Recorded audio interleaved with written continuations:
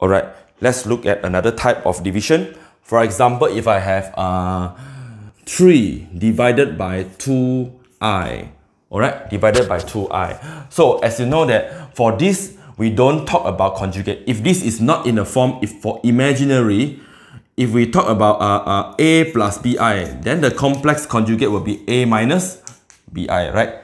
Uh, so, but if only if the a is 0, we just we just uh, it's better for us to say we multiply back the same thing, right?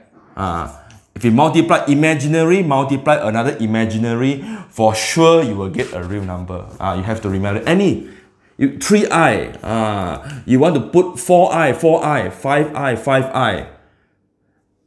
It still be the same, okay? Uh, so to, for, for your own uh, comfortable, maybe you can multiply by 2i, lah, okay? Identical.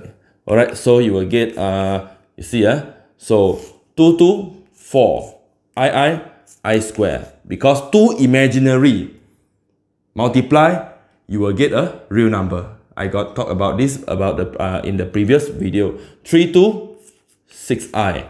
So then you have 6i on top. i square is what? i square is negative 1, right? Negative 4. So you have 3, negative 3 over 2 i, right? Uh, now you see the, deno the denominator become a real number. Okay, let's say you have a negative 5 over with uh, uh, uh, 5, 4i, for example, 4i. Okay, I can multiply 4i and 4i, okay? Uh, or I, I, I want, I, I can multiply 2i, 2i, also can, alright? Or I multiply I or I, I, will, I usually will do I over I lah, okay? Anything, okay? As long as these two are the same. Imagine 2i, 2i, 3i, 3i. So you multiply, you got negative 5i on top. Below you got 4i and i, you got 4i square. But this has to be identical. Ah. So you got negative 5i over with i square is negative 1. So you got negative 4. Then therefore you got 5 over 4i.